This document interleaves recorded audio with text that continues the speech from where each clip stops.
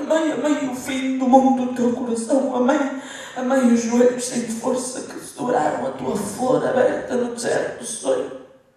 Aberta perante a cerimónia do amor, a ternura, as pernas a partir em frente por dentro, olha todas as voltas na tontura, a corda ao vento, a roupa pendurada, amei. A peça foi escrita especialmente para a Sara Ribeiro e tem dois músicos uh, com quem também já trabalhámos, o Lula e o Gil, com quem é a primeira vez que trabalhamos.